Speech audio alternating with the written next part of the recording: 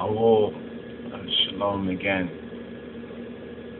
Um, we're still in the 30, the double portion for the 32nd and 33rd um, Sabbatical, which is uh, up here, the Rastafari Sabbath study, 32 and 33 of the Hag in the Hebrew, the Masoretic scroll, and the Tarara or Besina, Besina Terara in the Royal and Park Metrop Kedus of Negas, or in the Book of the Seven Seals of the Imperial Majesty's Revised Amharic Bible. Alright?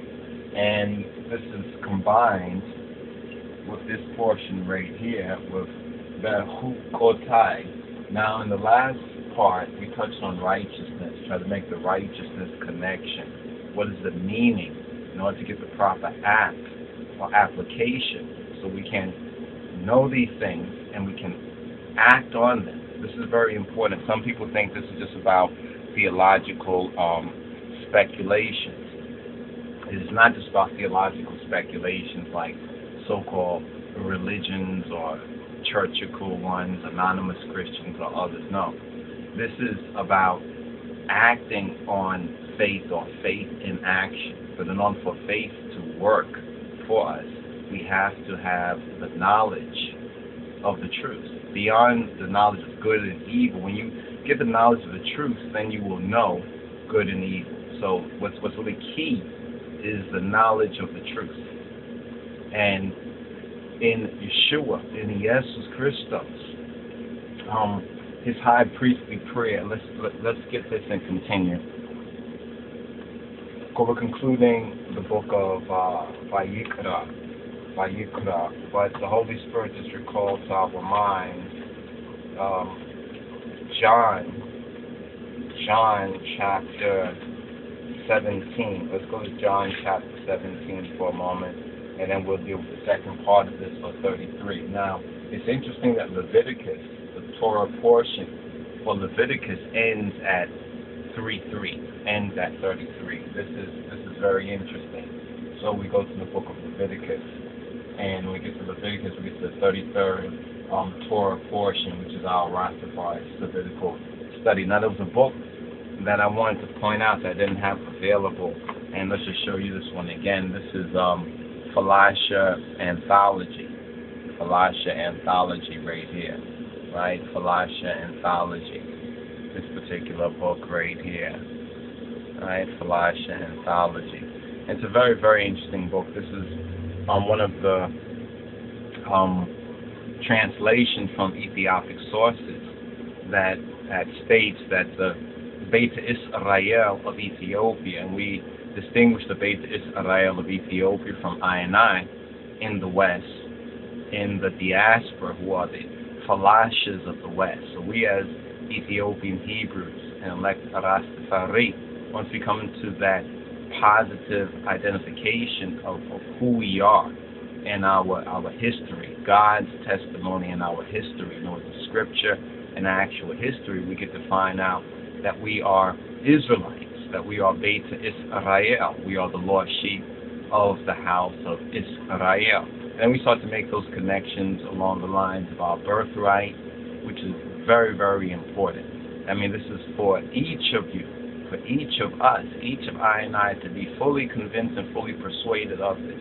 So we often like to encourage ones to continue to study, continue to dialogue, continue to reason. Now, when you have found the truth, and you will know when you have found the truth, you have to learn to act on the truth. In other words, to live within covenant, to live within the contract, to live within the Kal Kidan. And the Kal Kidan is the word agreement. The word agreement. So right here we go to John chapter 17. And in John chapter 17 we have what is um, subscribed as the prayer of intercession. And it begins and says, These words spake Yeshua. These words spake Iesus, or whom, whom Western Christians call Jesus. These words spoke Iesus and lifted up his eyes to heaven and said, Abba, Abbat, Father, Abba. The hour is come, glorify thy Son. Honor thy Son. Show thy Shekinah, show thy Shekinah glory to thy Son, that thy Son also may glorify thee. It was glorify the Son, so the Son will glorify the Father. So this this is a further testimony to the Ma'at, or to the duality. You understand that we find also in the Afro-Shemitic. So when we start to connect the mysteries of the wisdom out of Egypt and find that Moses was learned in, in, in the in the wisdom of the Egyptians, and he was mighty in word and deed. This is this is the key to good Ethiopic study as well as good Egyptology. This is this is this is a very important key that many, even many in the so-called black consciousness, have missed because they do not have an independent source. They have ignored the Ethiopic sources, and they need to stop ignoring the Ethiopic sources, which is very interesting. This is why we, when we talk about Had, from from Had we have Hor and Heru. You understand that Sina to Arara, the Had. You understand the Had is the mountain, and you know that a mountain or to Arara is likened to what what what is is called a pyramid. You understand? A pyramidical structure is a is a mountain. Now we know in scriptures that a mountain used symbolically or used according to the the, the mythology of the Bible. In other words, the parables are the mythologies of the Bible. We find that a a a mountain signifies a, a kingdom or a government. And this is an interesting relation right here. But in continuing, verse 2 says, As thou, this is this is the Moshiach's prayer, this is Christos's Christ Yeshua's prayer to his Father, our Father. He says, and this is the high priestly leading to the high priestly prayer. He says, As thou hast given him power over all flesh, over all flesh. And, and this, this is very key for us to meditate. This is when we talk about meditate. Meditate upon this has given him power, authority over all flesh. This, this is the key towards healing. It's the key towards overcoming all of our so-called temporal or worldly and dealing with the physical and carnal nature to, to turn to God, to turn to our Father, Abba, in the name of Yeshua. And this is why we continue to emphasize the role of prayer prayer and strengthening prayer and preparation, prayer and breaking down obstacles. You know what I'm saying? Prayer and even the, the, the, the self confidence. You see, the self confidence that many of us, though we might not admit it, the self confidence that we need. You know what Really truly developing and building that relationship. So this is more than just words, because one doesn't make a contract or a covenant with words but one makes a, a contract or a covenant with another. So this is where the scripture also speaks to us that there's, for us, there's one God, and there's one mediator between God and man, and that is the man, Jesus Christos, Yeshua HaMashiach. That is the man, Jesus Christ. So we have to keep that, keep that in mind. Even His Imperial Majesty, in the teachings of His Majesty. I think this is very, very important for us as Rastafari. And I've, I've, I've sought to emphasize this, not just to others, but to also I myself. And as I have moved in that, I see the incredible growth. Not even incredible, it's very credible. You understand? But it's in some sense amazing. It's, it's awesome. In the sense the growth in my personal comprehension just by obedience, diligent and faithful obedience to the teaching of His Majesty. And this is something I have to highly encourage Rastafari, my fellow brothers and sisters in Rastafari, to really truly consider the teaching of His Imperial Majesty. So when we talk about Christ here, Jesus here, Yeshua praying to the Father, right, and the Father being, being, being, being reconciled with us, and we being reconciled with the Father. we being restored into the family of God. Even even through the Father is the kingdom authority restored. And this is the example we have in Kedemawi Haile Selassie. This, this is the, the revelation. But let's remind one that revelation is not doctrine.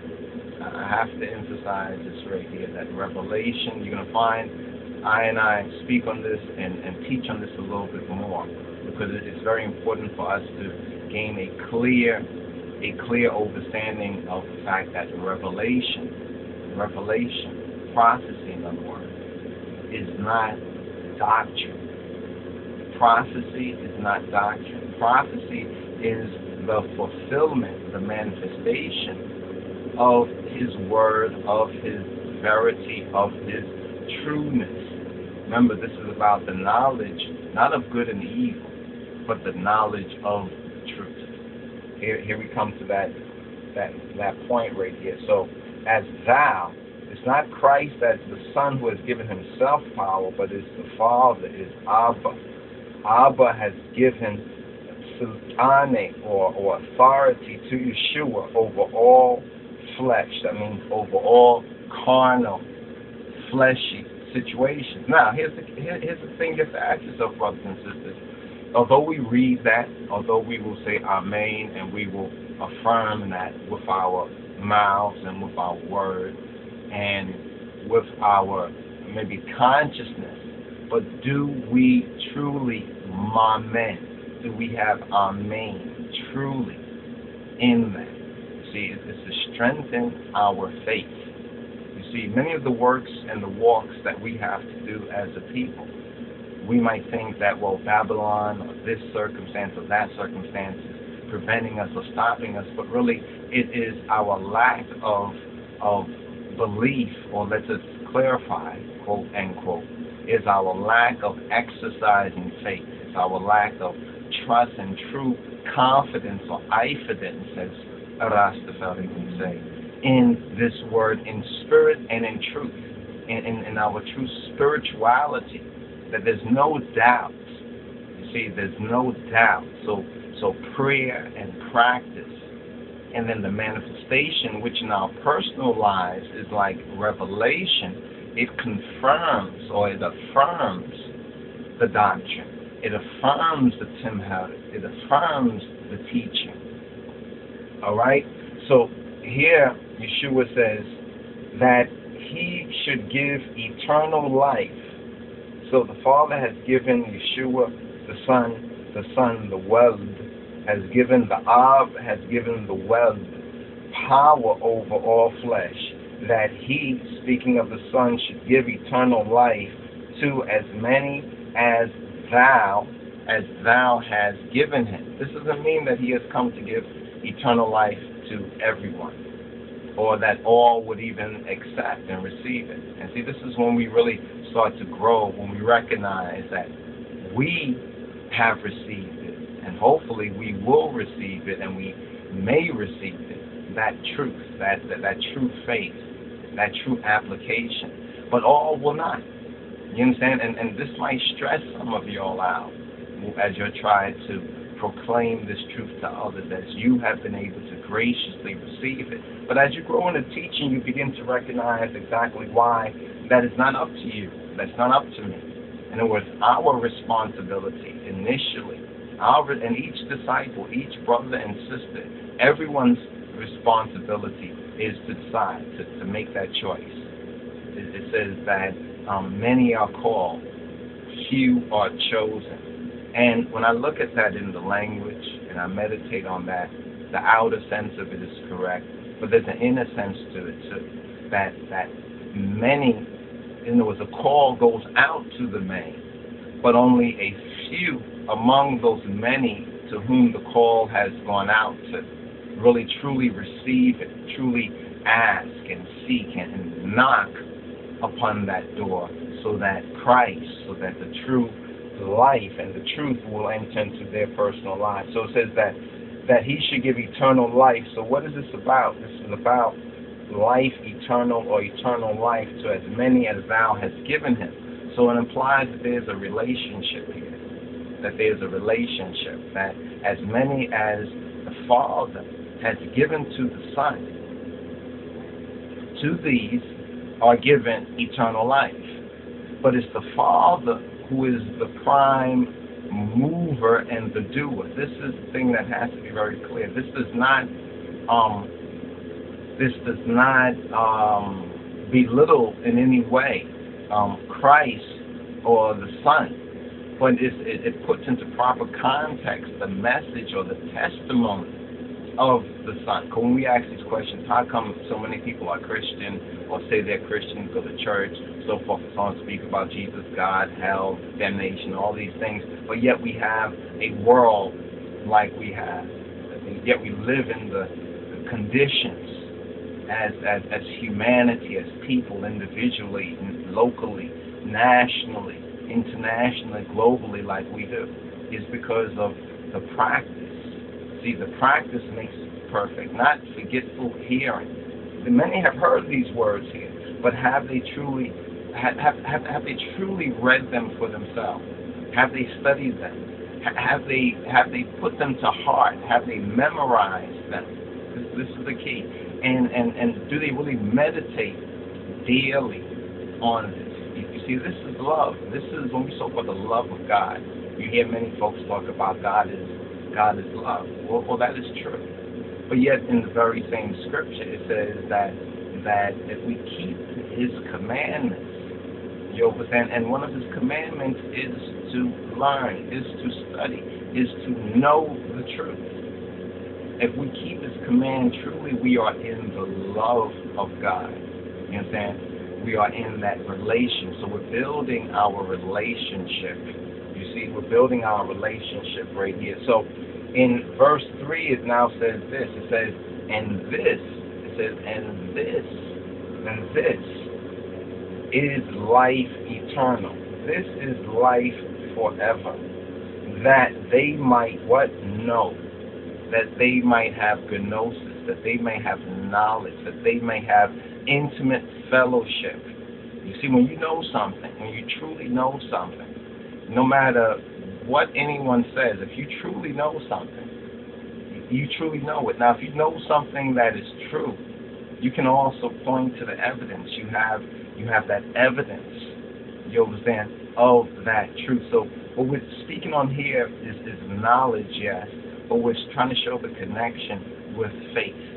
You saying With with faith. That faith is not just a word. In fact, um, Brother Tariq Bey had had presented presented something to this effect that we want to show for a moment as well. Now, in the so-called uh, Masonic lodges, right? I, I want to put this right here. In the Masonic lodges, there are what they call three lights, right? Three lights, right? right? Three lights.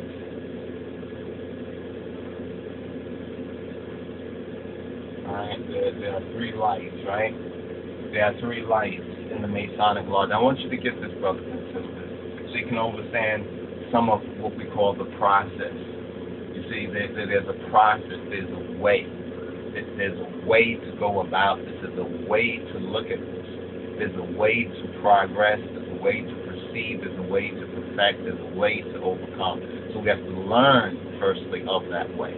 This is why I remind ones to take notes, to study, you understand, to, and also spend time in meditation. Spend time in memorization and meditation. First thing, this is hearing. You, you, you're hearing. We, we, we speak about these these um these five keys. One is one is to hear, right? Next is to read, right? Then is to study, right? Then is to memorize, right? And then is to meditate, right? Right? These these five, you need to you need to jot this down. You need to write this down. The first and most important is the Shema. Is the Shema. Shema Yisrael. Yahweh Eloheinu Yahweh Ahad. Hear, O Israel, the Lord thy God. This is translation here. The Lord thy God one Lord. It begins off with hearing, Shema, that word of witness, that word of faith for all Beta Israel. Is to hear, right? And to hear also implies to obey in the sense that we as black folks say, you feel me, you, you hear you hear what I'm saying, you hear me, you feel me. In the sense of feeling is also implied.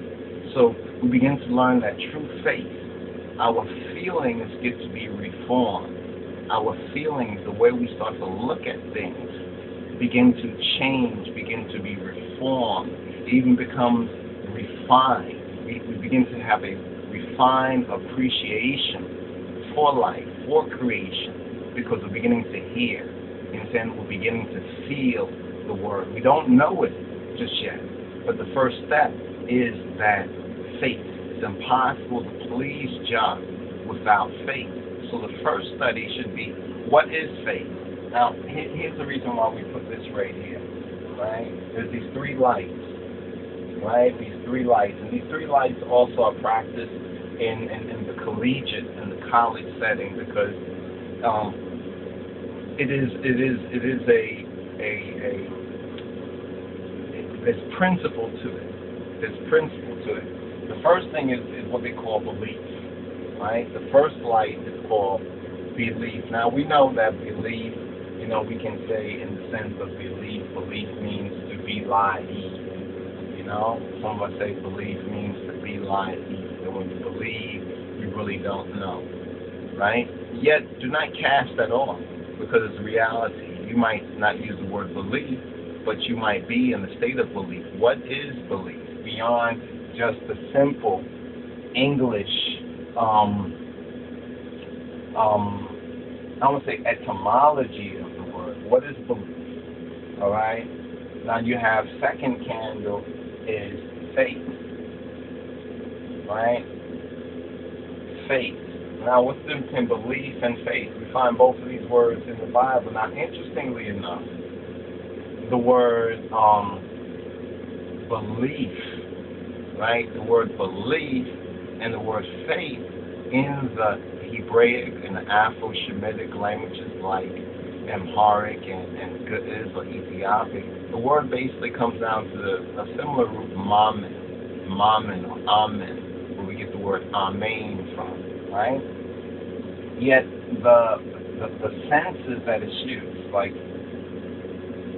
but belief here is more like a noun. It's like an idea. It's even like an opinion, right?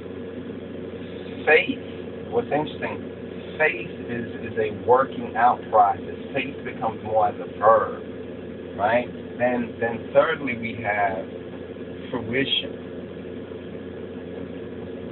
Don't worry, I'm gonna go over this again, and Brother Tariq Bey, he he reminded I and I in one of his lectures about this. And this is very interesting because here's what you have also in the so-called lodge. You have the novice, the newcomer has belief, like has an idea. You understand? It could be a very zealous idea, but it lacks one key thing. It lacks knowledge. So this first can, this first step is the newcomer. You understand? Is, is what the Bible calls the novice in Timothy This is the newcomer, the novice, right? At this particular level right here, this particular level is what's known as the scholar. The scholar has has knowledge that now he's working out his faith, and then he's working out his his his his theories. He's working out his his thesis. You know what I'm saying? Even we can look at this as Trinitarian um, dialectics, falsely called Hegelian dialectics, where they have some say problem, reaction, solution, others say thesis, antithesis, right? Antithesis, and this is synthesis here. Now, in the in the order we have the novice level. This is the novice or the neophyte. This is the scholar, and now here is the master. This is the master level. And now it's at this particular fruition or master's level where you get your B, your your your your, your BA or your MD, your master's degree within secular or worldly um, institutions called colleges or universities. It's at this particular level. It's fruition. It's fruition. The fruition level is the master's degree. The you have the secondary one, which is the scholar's degree. This will be the disciple level. This is the discipleship level. It's faith, but not just zeal or belief in zeal or an opinion, which is belief, but you now have a clearer idea based on knowledge. And now here's what we call applied sciences. Here at this particular second level or, or second step is now faith in action. It's faith now crossing over to fruition. Now, when you get to level of fruition, that means you have you working out your salvation. You see something interesting in the Bible it says, and we go from faith to faith. I thought that was interesting because some would read that in the Bible it says we go from faith to faith. That do we go from one particular faith, like religion, to another religion? Is that what it's speaking about? No. It's speaking in the context of true Christendom, in the context of true Christianity, that we go from faith to faith. In other words, we go from the application of the hymenos or the imnet, right? We go from the application of the imnet to the application of the imnet. So in various aspects of faith. You know what I'm saying? We have to work faith in, our, in the various aspects of our lives. So we have to become aware and acquainted with the Word. Why the study of the Word, and many of us didn't grow up in a in, a, in an ideal situation where the, the scriptures was a part, a major part of of of our childhood. Some of us did. Some of us had an opportunity, more or less, to become familiar. All of that is well and fear and good and all of that. But you have to begin again. You have to consciously, we call this the intentional disciple, one who intentionally says, you know what, I want to learn this for myself.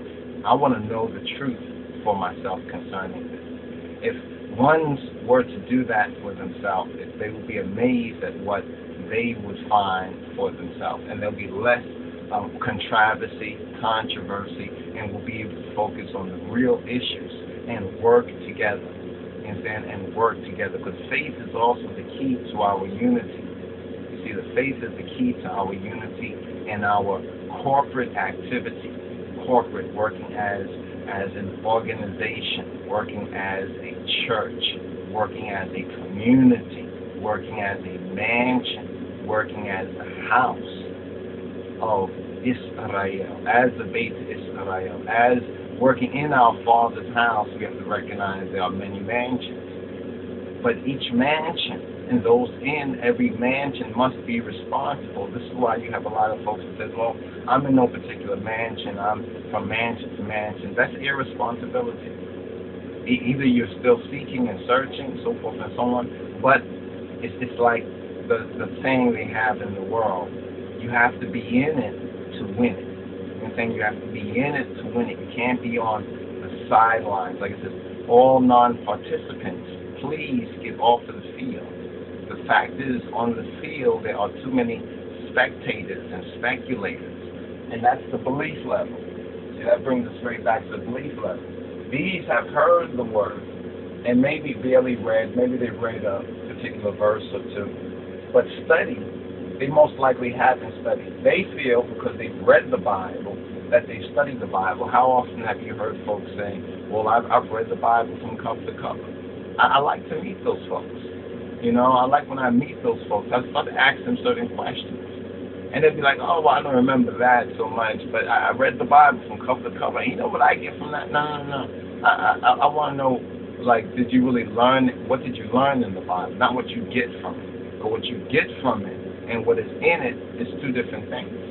You know, and so we have those who have heard the word. This is why the word says to us, the scripture says, don't be a forgetful don't be a forgetful hearer of the word, but, but a doer, a doer of the deed. And see, the doer of the deed is the scholar's level, is the discipleship. One, one can even say the student, the scholar's level is the faith. So remember, we said that this right here should be based on not knowing, lack of knowledge. Usually opinion, usually maybe zeal, and some folks you have a lot of apathy too. You understand apathy, which is the opposite of zeal. But both of those are based on on ignorance, on what they do not know. You understand what they do not know. It's like one says, I'm a Rasta, right? One says they're a Rasta, and I say, what does Rastafari mean? They say, oh, it means head creator. I said, nah, it doesn't mean that. In them heart, it means, yeah, yeah, but what I heard. So they, they want to go on what they heard, but the sources, the information that they've heard was faulty. So they stay on this novice level. Understand? They stay at this novice degree, and they never get to this neophyte degree. They never get to the scholar degree where they are seeking, they're asking, seeking, knocking, where they're, they're following. Because look at the key right here. This would be the follower of, of Christ. This would be the point of those who have heard, you know, those who were in the crowd, those who heard the parables. This would be those who now the mysteries were disclosed to them, and they were working out their faith. You understand? When they get to the level of apostles, you understand? When, when they get to the point of apostles, after the, the crucifixion, the death, and resurrection of the attention of our Lord and Savior, when they get to the apostle level, and then the acts of the apostle, here we're seeing the fruition. Here we're seeing the working out. You see the working out of the faith. You understand? The working out of the faith. So this this this this that this right here is so very important because unfortunately most barely get to this level. They barely get to the level of true faith. You see what I'm saying? I mean true faith, mature faith, and the Bible calls it strong in faith. You see, because it says you can be weak in faith. So the, the, the weak in faith, or those of little faith, are between point point A and point B, point one, step one, and step two they're still weak in faith. Still, they're dealing with a lot of belief, or we can even call it unbelief. On a certain level, it is what you find in the scripture as unbelief, where Yeshua, he upbraided the Decamezamorit, the disciples, for their lack, you understand, for their lack of belief, even the casting out of the demoniacs, said that um, howbeit that this kind goeth not out except by prayer. What do you say? Except by what? Prayer and fasting. And, and, and the better we apply this, the better we will pray and, and, and, and fast and understand the true significance of fast. Fasting is not only from food, though food is the is the easiest and nearest cardinal level example. In other words, if one does not gain mastery over food, and and and and, and recognize the importance, the spiritual importance of fasting, their spirituality will be very will be very weak. In other words, they will be those of either unbelief or those of O ye of little faith. So of little faith are those who just hear. Like if you're just listening to these messages and you're not actively studying and, and making time, people say I have to find time. No, you have to make time. You have to take time. You'll have to take time. Because don't you have a question about this? Don't doesn't doesn't any questions come to mind? Like, well, I don't know if what he's saying is true. What he's saying sounds true. But how do I know for myself? You understand? He can explain it for himself. You understand? But can I explain it from what I know? Am I am I am I um convinced in that sense. I'm persuaded, Yovas, and whether we take strong steps in the faith or weak steps in the faith, it all depends on the on the measure or the quality of our faith. That's not about what God is doing or what Jah is doing.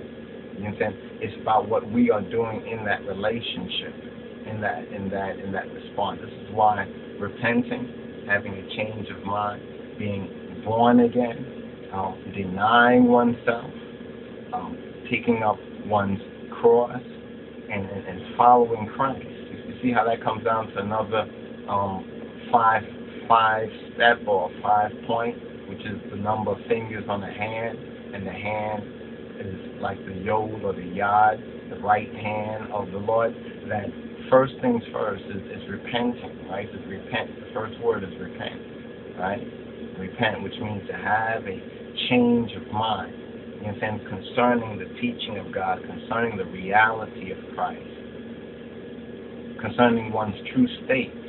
You understand? And the true state of, of their surroundings of the world.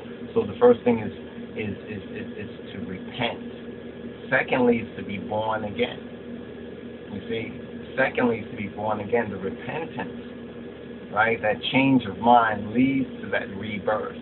Now, in the rebirth, there's symbolic baptism by water, but there's a deeper level of baptism. In fact, going to this point of meditation in order from the hearing of it to the reading of it to the studying of it to the memorizing of it to the meditating of it is the true washing with the water washing with the word like water.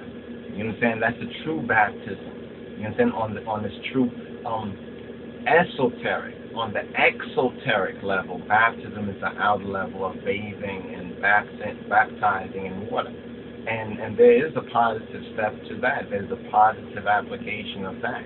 But it doesn't stop there. You understand? It's first of all addressing the the outer level or the physical level, the flesh level in order to to shock or stimulate the, the spiritual side. So we have this duality. We have our human nature and we have the divine nature that we only truly get in and through our Lord and Savior Yeshua HaMashiach. The, the, living testimony, the living application of His Word. So I point this out right here, and I, and I hope that one understands this, and one might say, well, how is this connected to the Hukotai? But it's very clear how this is connected to the Hukotai, and we're going to get into that hopefully in a moment. Now, who's at verse 3? So verse 3, St. John chapter 17, verse 3 says, And this is life eternal, that they might know thee. So, so Yeshua, let's let's understand, let's understand this. Yeshua, the Son, the Word, is saying concerning the Ab or the Abba, saying concerning our Father. He's saying, and this is life eternal. Life eternal. Because he says that he has given him power over all flesh, that he should give eternal life to as many as thou. So as many as the Father has given to the Son, he has the the, the, the right to give them eternal life. And then he explains in verse 3 and this is life eternal, that they might know thee. So, so life eternal is the knowledge of the God and Father of our black Lord and Savior, Jesus Christ, Yeshua HaMashiach. And this is life eternal, that they might know thee, the only true God that means that there, there are other gods, yeah. But are they true gods? That they might know who? Thee. And who is thee? The only true God. The only true God and, and, get this, and Yeshua HaMashiach. Jesus Christ. Jesus Christos. Whom thou hast sent. This, this is the key right there. Is, is the gaining of eternal life, right? Because we have been given to the Son. You know what I'm saying? We as Rastafari, as true Rastafari, have been given to the Son of the true God and Father. We've been given to the Son. And we've been given life eternal. So that we might do what? Know the only true God, the only true God and Jesus Christ, whom thou hast sent. Now this is very key as we speak on the Shema. You understand the Shema, the Shema of Deuteronomy 6 and 4.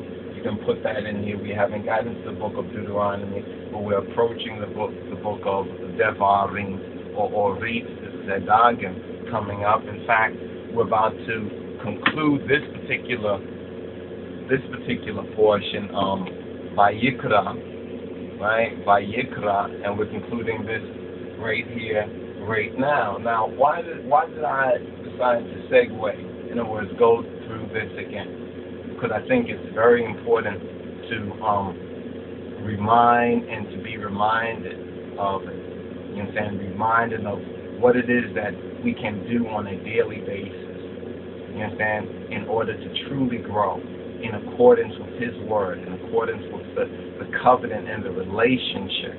You understand, so that we can reclaim and preserve our birthright, but moreover, so we can work out our faith, so we can be able to do both individually and collectively that which is in accordance with what pleases the God and Father of our black Lord and Savior Jesus Christ. And see, when He is pleased, you understand, then our prayers, our prayers, which are according to His will, are answered. You understand? So, in saying that, I want to just kind of connect that right there. In saying that, we're going to move to Bechukotai. Behukotai or Behakatai. Behakatai. In Amharic, we have the word Tig. Tig. Tig means law. Now, in Hebrew, we have the word hawk, hawk, or hawk in the Arabic, which means hawk, like say truth.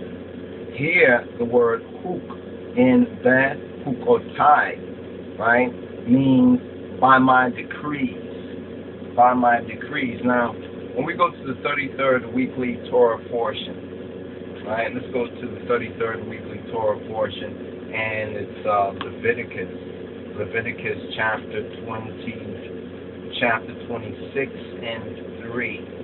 26 and 3. Now turn your Bibles to Leviticus chapter 26 and 3. And once again, I, I got a highly advised ones and ones.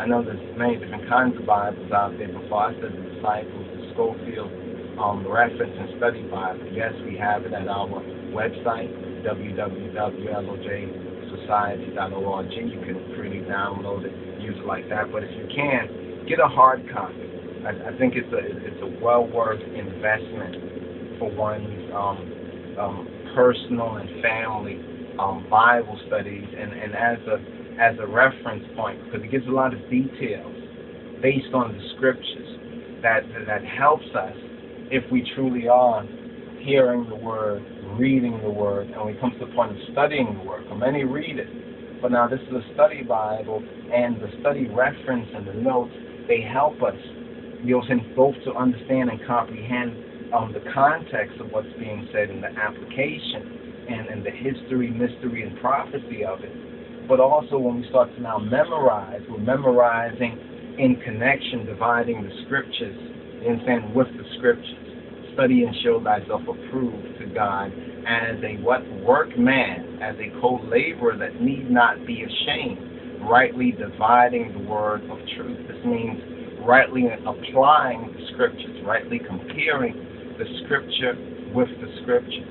So as disciples, as you grow in your discipleship study, remember the discipleship is this point of faith with knowledge and working out one's salvation. You understand? Practicing this, hearing the word, and then you hear somebody speak on the Bible, well then you go and seek to read up on what they what they were speaking about, right? And then as you read up on it, so you can really know what sounds good, well then study it, study it, right? Study it. Now when you find that this is true, and then commit this to your memory, recall this to mind, and what better time but to remember the Shabbat, to remember the Sendet, and keep it set apart so those things of God, you know, the, the Sabbath is a time of meditation and reflection. You understand? And thanks and praise and, and just and rest. It was made for man, for humanity. Humanity was not made for the Sabbath. So we have meditation. Meditate upon the word day and night. That means hearing it, reading it, studying it, committing it to heart and mind. This is the fourth level. This squares it off. Committing it to heart and mind. So then when we start to meditate on it, we have a good foundation. You see, this, this provides a good foundation right here. And then we use this right here. It's a basic neophyte, newcomer, disciple. You understand? And here's where the disciple becomes as their master. You understand? It's the fruition. You understand? That means that not only do you recall when you were in a state of belief or unbelief or opinion, and it may be zeal and ignorance, but now you recognize when you started to gain the knowledge and then apply apply the science, apply the gnosis, apply what you know. In other words, doing, not being a forgetful hearer of the word, but a doer. You understand? And a doer comes to this fruition or this fruitfulness. Some 30%, you understand? Some 60%, some 100%. This is according to the teaching of Yeshua. You understand? And those of us who have experienced the word, we say our woe and Amen. It is true. But each of y'all have to be able to say it from your own um, experience and witness. This is so much a key. And what I'm really trying to encourage ones is as ones move forward and to move forward and to progress so that ones can know the truth for themselves. That one can know the truth for themselves. Because when we all know the truth for ourselves, then we'll be able to really address these other things that we need to do and be able to work together. See, the faith helps unite us as well. Now, this 33rd weekly Torah portion, Parashah, in um, Leviticus, um, it, it is constituted from Leviticus chapter 26 and 3 to the end. So in chapter 26 and 3, it speaks on the conditions of barakat, the conditions of blessing. Verse 3, Leviticus chapter 26, verse 3. And um, and it reads, If ye walk in my statutes and keep my commandments and do them, then I will give you rain in due season, and the land shall yield her increase, and the trees of the field shall yield their fruit. See, shall yield their fruit. So he says this very, very clearly and very plainly, right? Very clearly and very plainly. Now here in in um in King James, it says, "If ye walk in my statutes, statutes."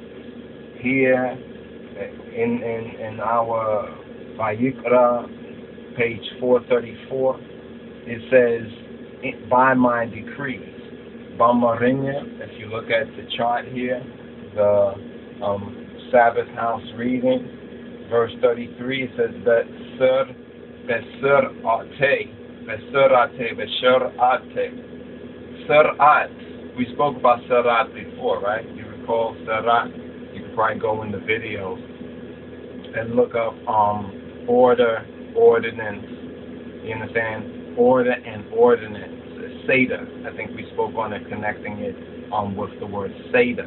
Some you know the Passover Seder. Some think of Seder as a dinner, but it's, it's really a particular order. You understand? A particular ordinance that provides an order. Some can consider it a ceremony. There's a ceremonial sense to it legally speaking, we know that there are statutes. You understand? These are also additional regulations. Understand? So what he's saying here when he says Bechukotai is the key when we look at when we look at this from the Afro-Shemitic, right? If we break down this Hebrew here, this word hok here, right? We have the word word hak, right? from, from Arabic, and then we have the word hug from Amharic, It's just breaking down the Masoretic. Now, in the Amharic, we have Surat or Shurat. Now, what is the difference between Shurat, Surat, and Shurat? If you recall, in the Scofield Study Bible, when we go to chapter um, 20, which has the command, there was a footnote that broke down that the Mosaic covenant given to Israel in three divisions are essential to the others, and together forming the Mosaic Al Kidan, or the Mosaic Word Agreement, the Mosaic Covenant, vis-a-vis the commandments expressing the righteous will of Jah. So the commandments, the ten words, or the commandment, his command, it expresses the righteous, this key word again, the tziddik, the tzaddik, the tziddik, the zadok, the righteous will. You understand? Make our wills obedient to good influence, to God's influence, through the commandments, expressing the righteous will of God. Then we have the judgments, which governs the social life of Israel. In other words, the judgments is what governs the society You understand what governs the social network of Israel, therefore the social network or the social life of Rastafari, of true Ethiopian Hebrews. And thirdly, we have the ordinance. Here we have the word surat or shurat, statute. It's also translated, ordinance sometimes is translated as statutes, right? Statutes. And the ordinance, they govern the religious life of Israel or the spiritual life of we Ethiopian Hebrews are governed by the Sarat. So now we have Sarat Besharate in the in the um, Revised Amharic Bible, Haile Selassie's Book of the Seven Seals. But now here in the Masoretic we have the Hukotai or the Hakate, the Higay, the Higatai, the Higatai, right? which is an interesting um, etymological link with the Masoretic here, right? But we think that the Masoretic right here perhaps is is is um, a later revision or redaction of the original Ethiopic. But these three elements, let's remember the commandment, the judgment, and the ordinance, these three elements, they form what is called the law. Now, Balmarinya, the law is this hug, this hug, the hug, which is a variation of hak, the Arabic hak, and the Hebraic huk, right? Huk. So we're saying that this is linking with the law, but particularly what's spoken of here is the religious life. Now, as we go on, it says right here, um, it's speaking about the blessings of the land that we would have right? Um, the conditions of the barakat, the conditions of the blessing. But there's also a warning, and it's warnings of chastisement. Now, in the Scofield Study Bible, chapter 26, it has a subscription 2, and the footnote says that chapters 26, chapter 26, should be read in connection with Deuteronomy chapter XXVIII, which would be 28, 28, 29, and 30 of Deuteronomy. And this is called the Palestinian or the Philistine Kal Kidan, or the Palestinian Word Agreement, the Palestinian Covenant. So for the diligent disciples, that's a portion right there. You heard it that's a portion to read and study the connection between chapter 26, uh, Leviticus 26, and Deuteronomy 28, 29, and um, and and 30. Now, that being said, let us get an overview right here. Now we know that's a double portion, and we've addressed that right there. Basically, there's two main summaries here. One is the blessing, the barakat, and the curses. Right? The blessings for obedience, for hearing, for shema, and the curses for disobedience or not hearing. Because if you hear, then you hear, you must read, right? And then in reading, hearing and reading to figure it out, you have to study. Now, once you study it, you have to commit the truth of it. You shall know the truth to heart and mind. This is the memorization and the exercise, the tithing. We can call this the tithing of that 10%. We understand the tithing of our mind state. Then we can meditate upon it day and night. And this is when you get to the level of meditation, especially when it's in this order, when it's in the true order, then one truly is is dealing with spiritual power. You understand? In other words, one is, is truly operating in true spirituality when it's in this particular order. Often ones will say they're meditating something, but they have no foundation. There's no foundation. They have not heard the word, they have not read the word, they have not studied the word, and they have no memory. They have not memorized the word. See, when we memorize the word, it's like downloading it on a certain level, but it's like rewriting. You understand? Rewriting our operating software. You understand?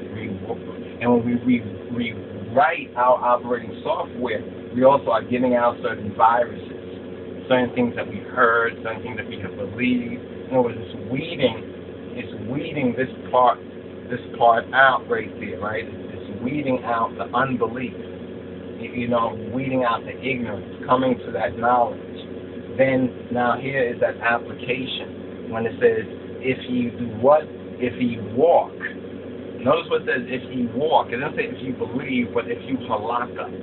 Halaka or the akahe. If you progress in my spiritual order. That's that's what this part of Hukotai is. If you progress, which is the concluding portion of the book of Vayikra. You understand? Or the Hebrew book of Leviticus or Rit the Lewawian. Now, Jah had promised that if the Israelites, the base of Israel, if they followed Jah's law, that Jah would bless Israel with rains in their season, abundant harvest, peace, victory over enemies, fertility, and God's presence. Now, here's the interesting thing: is you know there's the link between the true Beit Israel and Ethiopia. Biblically, prophetically, from the very time of Moshe, Moses, we have where, where Jah wanted to destroy the people because the golden calf, and Jah said to Moses, I'll make a great nation out of you. And yet, Moses' wife was an Ethiopian, and he was a Hebrew, so he was already um, forth showing us that Ethiopian Hebrew connection, even from there. But Moses, he he he he, he um, prayed to Jah to relent on that, so that wasn't done there then. But Jah, when Jah says that, get out my way, let me destroy this people, I'll make a great nation out of you. It is similar to what he says with Abraham at the same time, how he would make a great nation of Abraham. And we know that that is a reality. You understand the full truth of that. The true truth of that is a reality. Now, when we get to Amos 9 and 7, there's a connection to Ethiopia. We know it in the Psalm, prophetically in the Psalm, the Kebra Nagast know, we can't even read that within some of the Masoretic uh, Ketubim concerning like um, uh, uh, Samuel and, and, and the Kings and also Chronicles. There's certain inconsistencies, you know, found within the Hebraic that makes you know there's more to this. Even refers to different books. Now, the Kebra Nagast is an important witness and a testimony. But not just only the Kebra Nagast the real, you know, the real culture of Ethiopia, our divine heritage, is a testimony to that Al Kidan, to that holy covenant relationship between Israel biblical Israel and biblical Ethiopia. Right now, why I mention that is because the same, therefore, the same as, the same Kal Kidan applies according to God's word. I, have, have I not said you are like the children of the Ethiopians unto me, O children of Israel? So he clearly applies it. That, therefore, when we look at the events of Armageddon 1974, Ethiopia, great transgression, creeping coup against the elect of God, the King of Kings, it becomes very clear the famine, right? It becomes very clear the rains, you know, irregular rains in the Horn of Africa, Ethiopia, you understand the lack of abundant harvest, harvest being less, far less than than previously under the monarchy, under the King of Kings.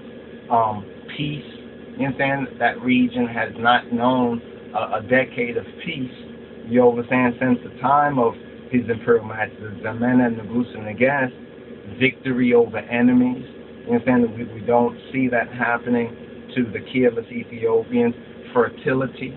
You understand? The birth rate of Ethiopians also ha- have dropped off, both at home and in the diaspora as well. Many Ethiopians are so confused about these fertility issues that they don't even want to have children. You understand? So we, we, we look, remember, in God's presence, now that's the key thing right there. In God's presence. You see, the real crimes with 1974-75 Ethiopia was not just against His Majesty, it was against God. It was against the Al Kidan. You know what I'm saying? It was against God. Now, Leviticus 26, uh, verses 3 to 14 points that part out. But if the Beta Israel did not observe Jah's commandment, as we've been saying, that Jah would wreak upon Israel misery. Has Ethiopia seen misery, you understand, or happiness since 1974-75? Consumption, fever, stolen harvest. Look how much land has has been lost in, in Ethiopia, even to the so-called native Ethiopians. Look what's going on with the land and the, the harvest. Defeat by enemies, defeat by enemies, poor harvest, attacks of wild beasts, pestilence, famine, desolation, and get this, the last one, timidity.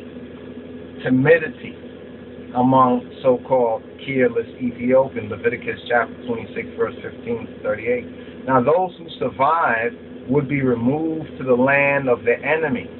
Now we know that historically speaking, this is speaking of the lost sheep, but it's also showing of Jah's righteousness and his righteous indignation or his judgment. You understand? When his righteousness and his righteous will is violated.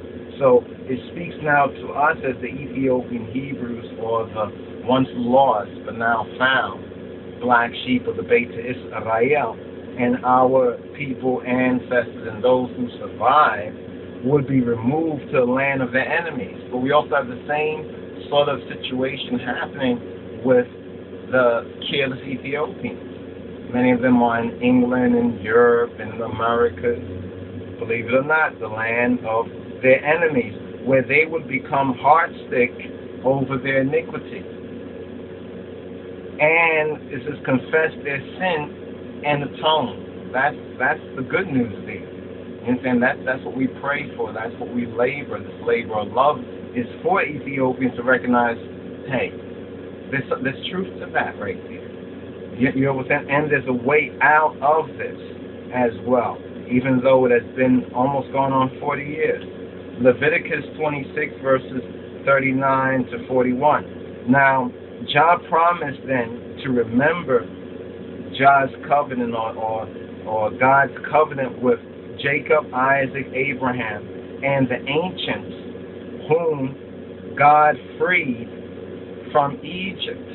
It says that he would remember his, his Al Kidan, Leviticus 26, 42 to 45. Now, that's the part that concerns the blessing and curse. As we know, that needs to be read in connection with chapter 20, 28, 29, and 30 of Deuteronomy. Now, furthermore, on the payment of vows, which is the next, you know, the next um, portion of this is on the payment of vows. I think we're going to pause for a course, clear the board, give the students an opportunity to take this down right here. So we see, we began off with, with John chapter 17. You understand? The knowledge of the truth. Not knowledge of good and evil, but the knowledge of the truth. You know understand? And and they shall and eternal life being that knowledge of the of the true God of Abba, Ababa, Ababa, Abba Kedus, Abba, Father, Kedus Abba Tajin, and Jesus Christos, whom he has sent to us. There we have it. When we look at Old Testament, Deuteronomy 6 4, the Shema. New Testament, Acts of the Apostles, chapter 8, verse 37. The Ethiopian eunuch, he was a Hebrew. And then he was returning from the, the high holiday of Fasika, of Pesach. He was reading, reading. Notice, he heard about this, but now he was reading, you understand? Isaiah, Yeshayahu, the prophet, concerning Yeshua. So he was reading and studying this, right? And obviously, what he learned from Philip, he had committed to memory. We see him in great joy, praising God, and his meditations, I'm sure, were sweet. So I point out the Ethiopian eunuch because the Ethiopian eunuch is that classic case. There for us in the faith to understand our Judaic and, and the Christian or the Tawahido, you know saying, the Tawahido of, of the two as one. In fact, that's a that's a scribe I'm working on right now. Took a couple of days off from the vids to actually work on a couple of um, scribes in order to help strengthen you all, brothers and sisters, in, in, in the faith on certain certain key points and everything. It's still a work in progress, but we're going to continue with the second part of this right here, the next part. This is the second part, Bill 33 right here, part of Bechukotai. Please remember this right here. This is very, very important to get a good, a good grip, a good grasp of this, so one can can um, rate their progress. You understand? Rate their progress, their walk. That key word, walk. If notice that conditional, if ye walk, if ye walk in my statutes, behukotai, behukotai, if we walk besurate, do we walk in his religious, spiritual ordinances, which is Torah, you understand, which is which is based on the Torah, but fulfilled in He whom He has sent, Yeshua HaMashiach, our Black Lord and Savior, Jesus Christos. So the next portion of this is dealing with more the vow. I think we need to understand um, vow, right? Vow in a in a um, in a in a better light. Now, before we finish up on this this portion right here, because there's a lot of other themes that are contained in this portion, but to keep this in tune with what we're teaching presently um, with the discipleship and with the ministry, the Haftarah or the Nabiyah, the prophetical portion um, of, for the Pasha, Jeremiah chapter 16, verses 19 to Jeremiah 17 and 14. The blessing and curses in Leviticus 26 are matched. They are matched by a curse on, quote, the man that trusts in man.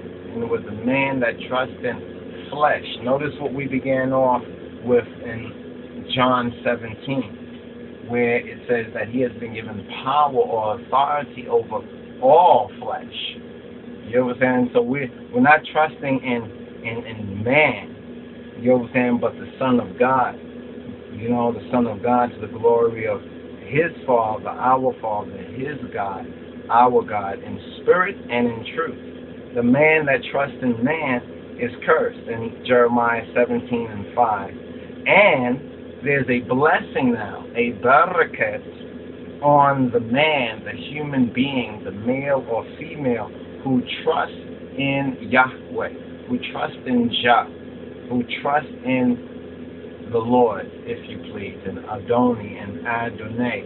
This is this is so key right here. So we see this contrast here in Jeremiah chapter 17 also should be um, meditated on in this um, Sabbatical week that is a double portion, Behar and Bechukotai. Shalom, Rastafari. Stay tuned. More to come. Yah willing. Shalom.